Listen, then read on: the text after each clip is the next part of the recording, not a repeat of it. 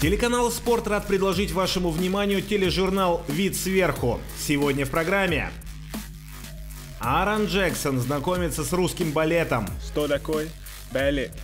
Баскетбол не только делает нас лучше, но и лечит.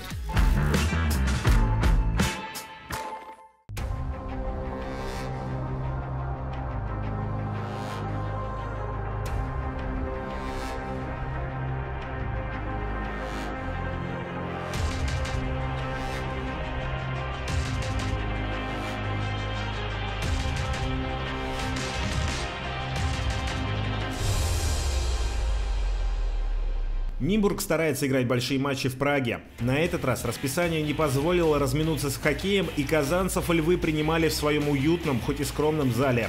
Чешское гостеприимство распространилось и на первую четверть. Уникс вышел на паркет в роли фаворита и катком прошелся по хозяевам. Едва ли не каждый в зале хотел покинуть трибуны, чтобы не видеть этого позора.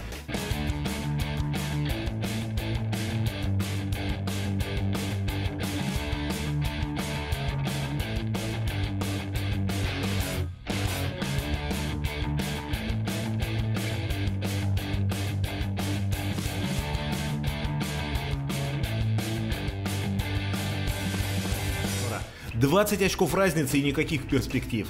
Да еще и гости, уверенные в своих силах, вместо того, чтобы сбавить обороты, включили более высокую передачу. Сработал инстинкт убийцы, активировался прессинг по всей площадке. И удивительно, что команда Кистутиса Кимзора не сломалась под напором лидера. Нимбург взбодрился настолько, что устроил удивительную по продолжительности погоню, растянув камбэк на 20 минут игрового времени. И все самое интересное оставил на концовку.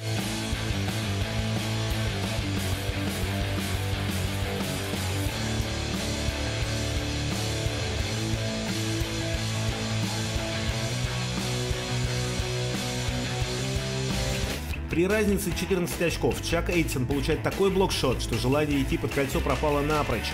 Нимбург сократил отставание сначала до 9 очков. Сенсация приближалась, но удачный отрезок выдал Максим Шеликета. 5 очков подряд, пожар потушен, а вот этот перехват вывел форварда из строя на неопределенный срок.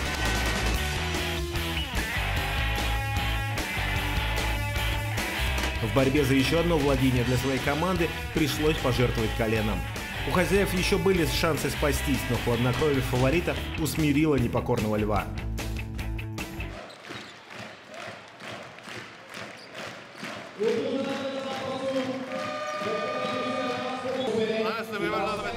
Настроение команды после поражения в Кубке Европы было неважным. И это сказалось в дебюте сегодняшнего матча, который мы провели просто ужасно. Мы теряли мяч и давали им забивать легкие мячи в проходах. Но мы здорово сражались и смогли вернуться в игру. Однако на погоню ушло слишком много сил, которых нам и не хватило в концовке. Сегодня Уникс был лучше. Хотя, если бы не стартовый провал, победить могли и мы. мы падаем в такую грязь, так глубоко, что потом нам так э, нужно столько энергии приложить, что, ну, может быть, даже в конце где-то там что-то из этого, что нет, этой энергии не хватает чуть-чуть, может быть, это и решения такие. Расслабились, не расслабились, наверное, дали им почувствовать их игру, которую они играют от нападения. То есть э, они забили много очень трехочковых, которые мы сами дали. И уже было немножко тяжело их остановить в конце, потому что они почувствовали свою игру. И поэтому так вот такая тяжелая концовка получилась.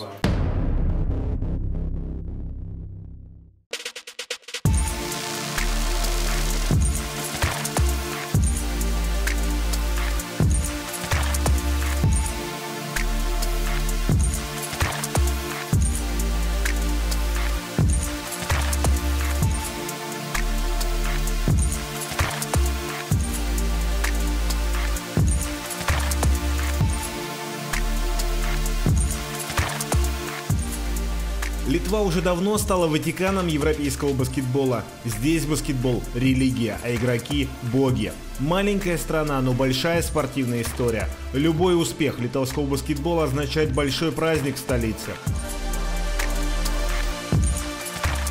В Вильнюсе не нужны афиши и реклама. Каждый житель знает, когда играет Летовос Ритас и кто соперник на этот раз.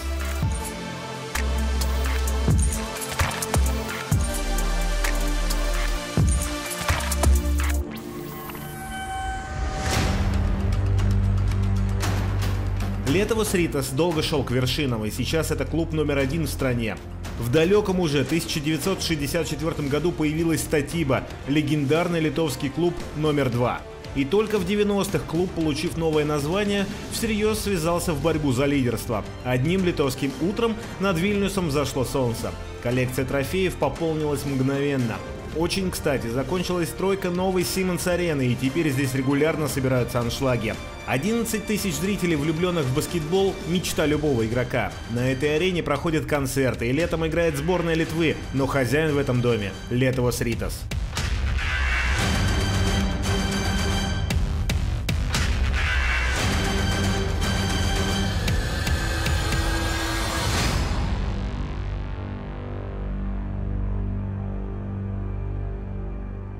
Каждый день не хожу здесь, но вот как раз, когда посмотрю на эти медали, так есть такая гордость, что клуб только у нас 16 лет, а столько много уже завоевывали, столько много уже мы достигли не только в Литве, но и в Европе. Мы, это уже это знают уже все.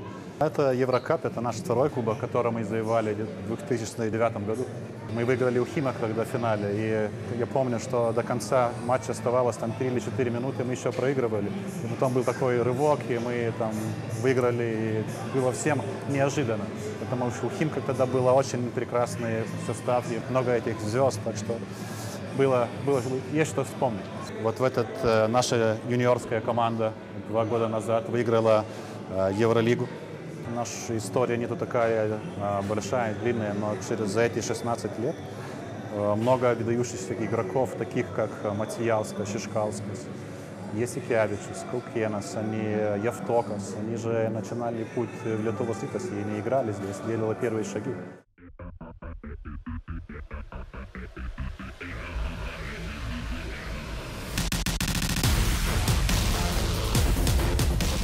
Когда 11 тысяч зрителей встречают свою команду, плохо играть не получается. Для нынешних лидеров команды Ренальдаса Сейбутиса и Дариуса Сангайлы это большая гордость.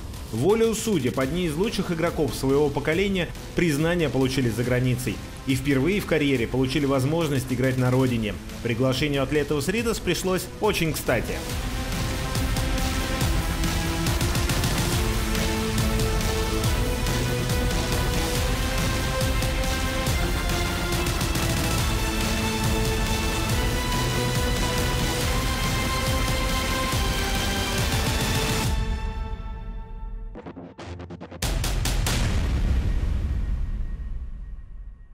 Получилось. Я уже так настроился, что э, хотел в конце карьеры, чтобы по поиграть в Литве, в домашних командах. И так сложилось, что Литва Сритас э, у них было такое предложение ко мне, и я согласился. Играл в Олимпиакосе, играл в Испании, играл в Турции. И потом, когда мне позвонили Летвос Ритас, совсем а, не, не, много не думал и хотел вернуться домой. И в таком большом клубе я очень рад, что теперь играю в третий, лет, третий год. Старт сезона для команды вышел неоднозначным. С одной стороны, удалось пройти квалификацию Евролиги и даже обыграть в единой лиге фаворита сезона – Краснодарский «Локомотив». Но несколько осечек вернули Ритас с небес на землю. Одного таланта для больших побед не хватает. И в такой момент нужна поддержка трибун. На глазах 11 тысяч фанатов случаются чудеса. И ради этого Сейбутис готов в одиночку вытаскивать матчи. Когда выигрываешь такую команду, как Панатинаикос, это побольше. В этой стране в баскетбол верят с рождения. И каждым литовским утром начинают ждать вечера, когда на паркет вновь выйдет Летувос Ритас.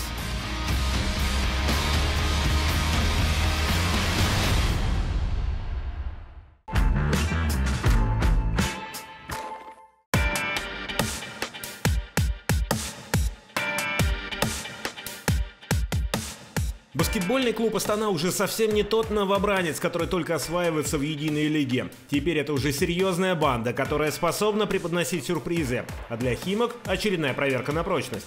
Тем более, что у соперника перед матчем был отправлен главный тренер в отставку. Обычно это встряхивает команду. Так и получилось. Результативные первые пять атак. Гости владеют инициативой и держат удар. Качели, очередность рывков и 30 минут встречи на паркете абсолютно равная борьба. И только после того, как Марко Попович включил свою суперсилу в начале последней четверти, самолично организовав решающий рывок. Определяющий фактор матча – скамейка запасных. Резервисты Химок разгромили скамейку Астаны с разницей 30 очков. Победа подмосковной команды с учетом стартовых пятерок чуть скромнее – 96-75.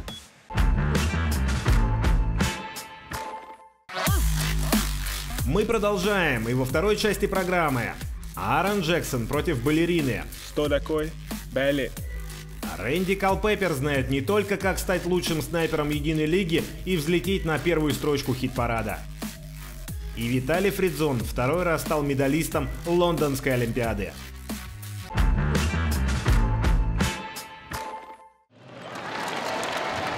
Перед матчем Евролиги ЦСКА Фенербахче Виталий Фридзон второй раз за карьеру получил бронзовую медаль Олимпиады в Лондоне. Награда нашла своего героя.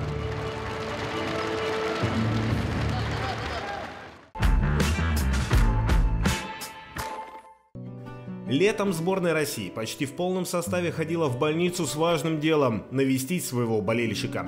Паша Гулей очень любит баскетбол, но борьба с лейкемией не позволила парню тренироваться. Игроки сборной поддержали Пашу, подарили сувениры и пригласили на товарищеский матч с Украиной. До болезни Паша сам играл в баскетбол и мечтал встретиться со своими кумирами. В перерывах между курсами химиотерапии Паша находит в себе силы и выходит бросать мяч в кольцо. Сейчас все курсы лечения пройдены и врачи не обнаружили злокачественных клеток, а уровень гемоглобина стремительно идет наверх. Такое внимание просто, да. Ну, это минимум, что мы можем сделать, чтобы помочь нашей ситуации. Ваша поддержка очень важна была для меня в тот период, когда да, был такой подъем, что ну, невозможно. Постоянно одна и та же обстановка, одни и те же люди. Мысли тут- одни и те же. Ну да, в принципе. Вот. Тут такая встреча прям. Болезнь отступила, и подарки от баскетболистов совсем скоро пригодятся на площадке. Теперь Паша мечтает вновь выйти на паркет. Пока армейцы приходили в себя после поражения в Евролиге, единственный играющий функционер единой лиги ВТБ готовился возобновить карьеру. Дмитрий Герасименко, 35 лет, исполнительный директор завода «Красный Октябрь» и президент одноименного клуба. Впервые в сезоне он собирается выйти на паркет в матче с ЦСКА. Спустя 15 лет большой баскетбол вернулся в город-герой Волгоград. Спустя три месяца я, Дмитрий Герасименко, бывший игрок Суперлиги, вернулся в стан своей команды. Это большой итог развития моей карьеры. Я хочу забить несколько очков ЦСКА. ЦСКА, держитесь.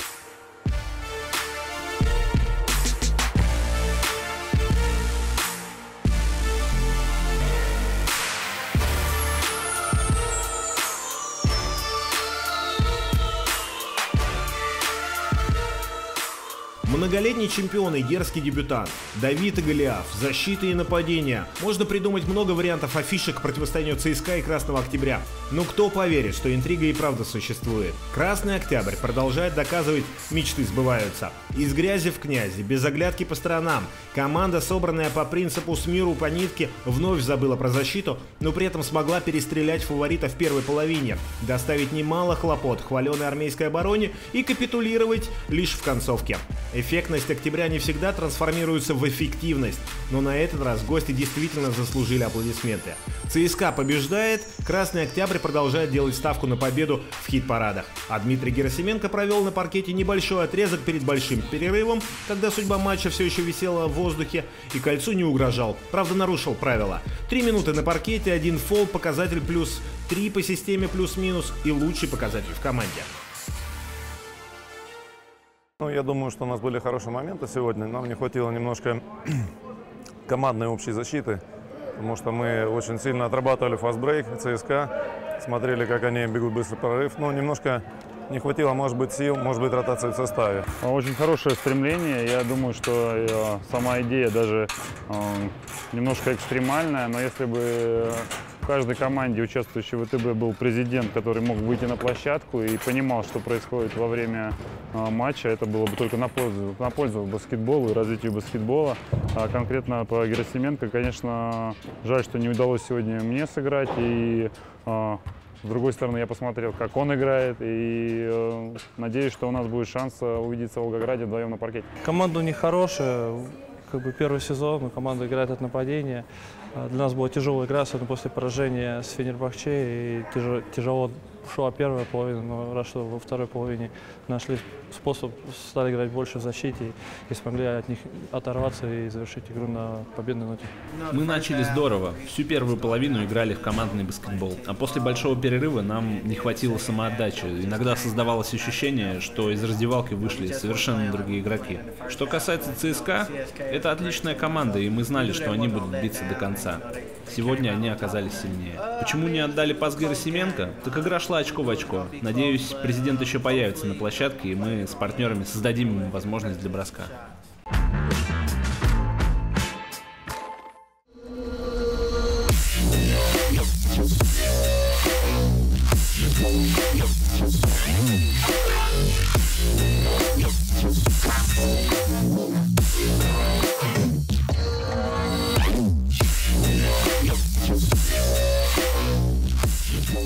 Пластичность Аарона Джексона известна всем, кто пытался защищаться против взрывного плеймейкера ЦСКА.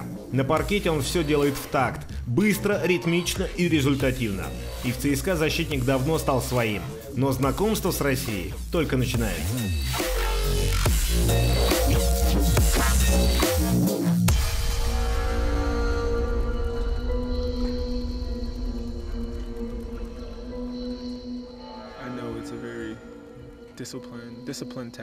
Я знаю, что в балете высокие требования к дисциплине. Чтобы преуспеть в этом деле, нужно быть по-хорошему одержимым. Необходимо много работать с самых ранних лет. Начинать в подростковом возрасте уже поздно. Это очень сложное занятие. Вот, в принципе, и все, что мне известно о балете. До перехода в ЦСКА о вашей стране у меня были самые стандартные стереотипы. Холод, водка, пробки. Обычно еще упоминают медведей, но их я пока не видел. Если встречу на улицах Москвы хотя бы одного, улечу из России первым же рейсом.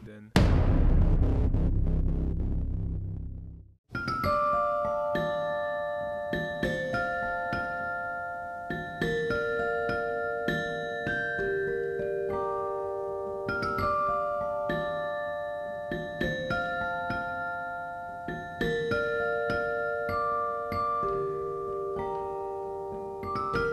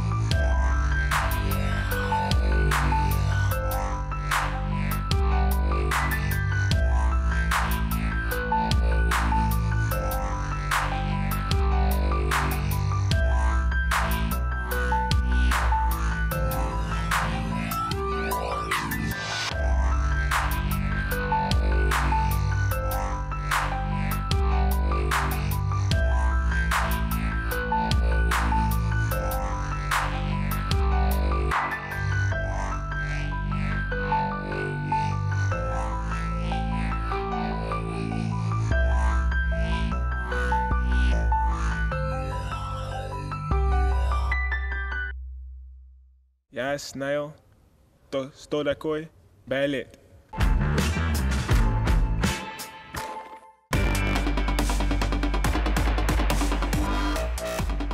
Измотанный матчем Евролиги, Локомотив приехал на матч с Донецком без двух основных игроков – Дерека Брауна и Сергея Быкова. Но на статусе фаворита это никак не отразилось. Донецк проиграл последние две встречи на своем паркете. Но уже первые минуты поменяли расклад. Сначала хозяева показали, что способны держать удар, а затем перешли в наступление. Рывок 23 и солидный задел в первой половине создан. Осталось только не допустить погоню. Локомотив отставание сокращал медленно, но верно, сохраняя интригу до самой концовки. Но еще один рывок пришелся на заключительную четверть. 10-0 и исход встречи ясен. Донецк провел лучший матч в сезоне и одержал заслуженную победу. 86-76. Железнодорожники потерпели третье поражение в единой лиге и пропустили Донецк на третье место в таблице.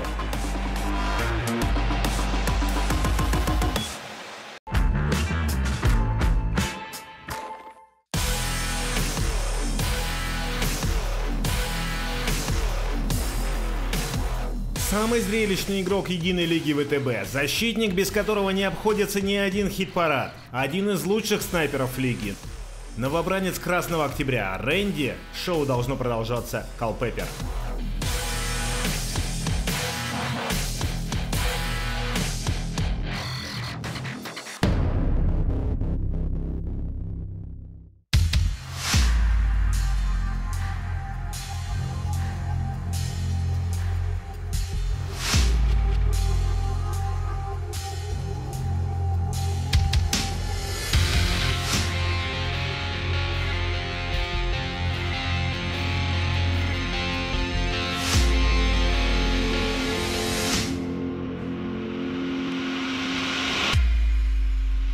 Рэнди Калпеппер, разыгрывающий и атакующий защитник Красного Октября. И я не только прирожденный снайпер, но и конвейер ярких моментов. Мне легко попасть в хит-парад, ведь я небольшого роста. Но при этом могу взлететь очень высоко.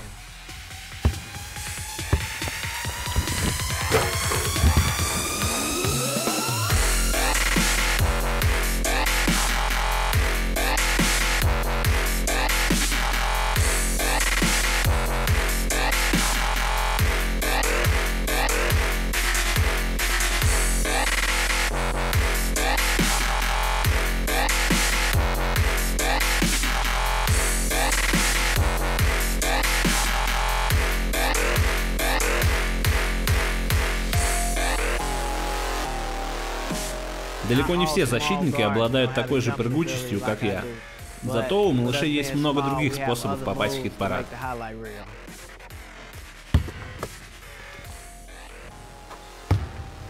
У меня в арсенале есть огромное количество финтов, но мое любимое движение — перевод слева направо. И я честно признаюсь, что украл его у своего любимого игрока, Алина Айверсона.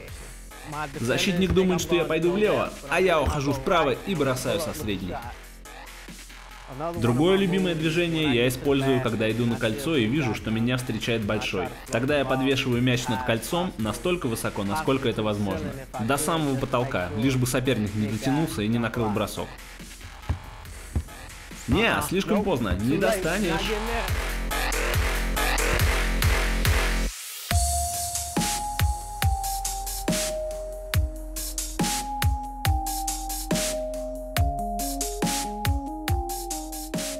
Когда остается мало времени, 3 секунды, 2, 1, остается только запустить мяч в сторону кольца. Если при этом вам удастся забить с середины площадки, это железное попадание в хит-парад. 3, 2, 1.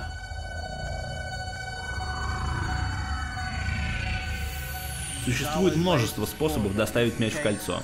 Но в случае, если у вас нет других опций, можно попробовать что-нибудь сумасшедшее, чтобы попасть в хит-парад. Boy back again.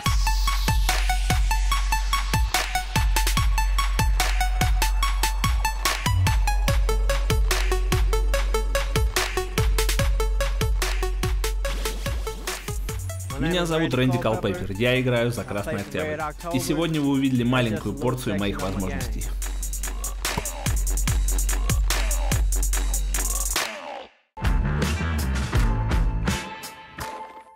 Самое время познакомиться с турнирной таблицей Единой Лиги ВТБ. Группа А. Казанский Уникс продолжает лидировать, несмотря на поражение в Таллине. Летова Сритас лихорадит, что привело к отставке главного тренера. В группе Б ситуация похожая, осталось только выявить лидера. Химки и ЦСКА уже в воскресенье в очном противостоянии готовятся нанести первое поражение конкуренту.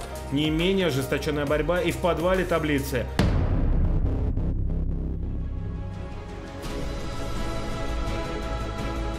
А теперь самое важное – баскетбольный десерт. Открывает наше лакомство. Евгений – клубничный пудинг Воронов. Кайл Хайнс отправляет заказ к столику номер 18. Получите, распишитесь. Десерт доставлен. На четвертой строчке Никита Чак-Чак Курбанов. Уникс Казань. Тиуэйн Маки накрывает стол, Никита Курбанов оформляет заказ. Кольца выдержали, оплатите счет. Рэнди Шоумен Калпеппер на этот раз в роли ассистента. Первая роль в этом моменте – Кадберт Виктор, Красный Октябрь. Карамельная передача – Леденцовый данк. Оласени Лавал и его диетический блокшот прямиком из Казахстана. Петери Копанин остался без сладкого. Его бросок отправляется в Астану.